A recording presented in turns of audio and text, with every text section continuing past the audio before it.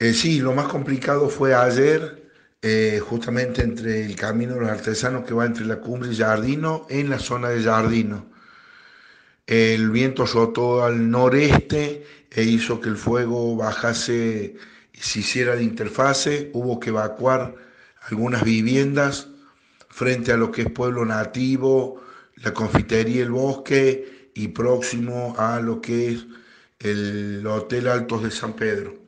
Un total entre evacuados y autoevacuados 90. De esos 90 solo quedan 10 personas alojadas en un hotel de Villa Jardino a esta hora.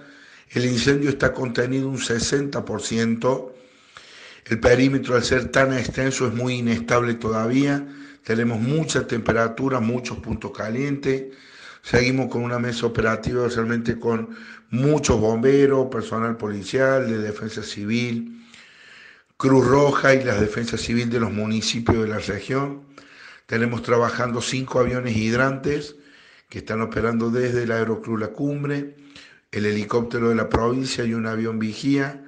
Las condiciones meteorológicas para hoy siguen siendo muy complicadas, con temperaturas que van en ascenso, que van a llegar a 36 grados algo de viento y muy baja temperatura.